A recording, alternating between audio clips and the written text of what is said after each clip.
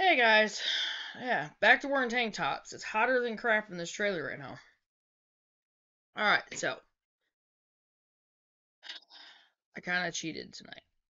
I handed my shift off to Andrew. It was only a 3 hour and 15 minute shift, but I've been four nights without getting enough sleep. And you can see it in my eyes. My eyes are so tired right now.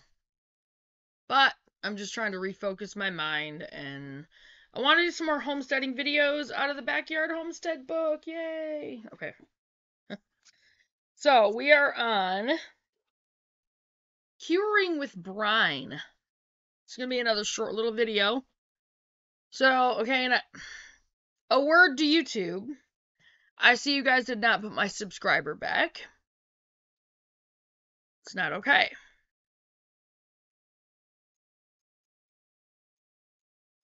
I know the reason you guys do it. It's not okay.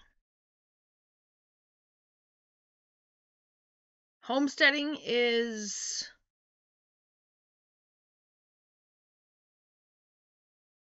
There's nothing wrong with it.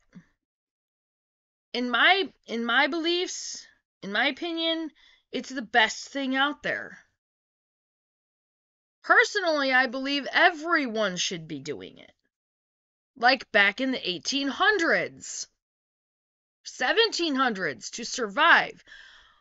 Oh, wait, we're going to come into a time when that's going to have to happen again. So, yeah, I know what you guys are doing.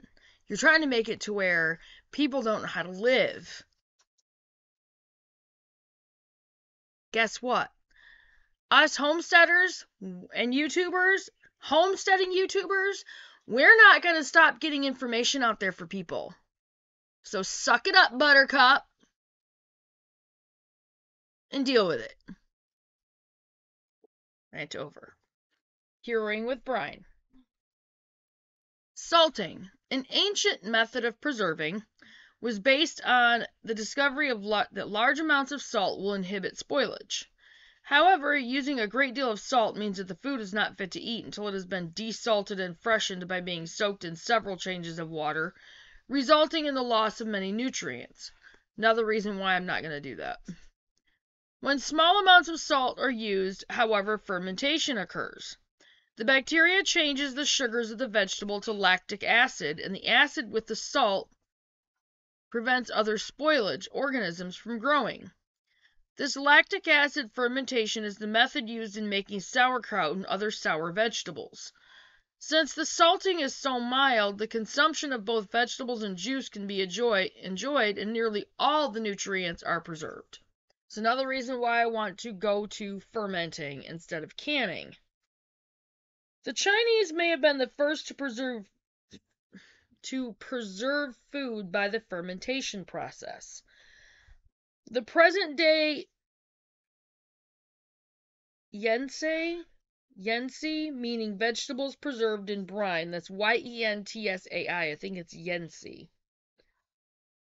Or Yensai. Is prepared with mixtures of various vegetables that have been available since ancient times. Turnips, radishes, cabbages, and other vegetables are used in these preparations, and salt is added if available. Some of the vegetables that can be fermented in the home with success are cabbages, Chinese cabbage, turnips, rutabagas, lettuce, green tomatoes. I don't, I would not do lettuce. That just sounds really gross. And snap beans. Cucumbers are also fermented when brined the long way for pickles. When properly prepared, all of these foods will be crisp but tender. They are pleasant, pleasantly at they are pleasantly acid and salty in flavor but they are good in salads except for sauerkraut, or served whole on the relish tray without freshening. They are also good cooked with meat. And that was curing with brine. So again, I'm going to make these just short little videos so I can just get them up there real quick. And I will be back in a minute and I'll see you guys in the next one. Bye, guys.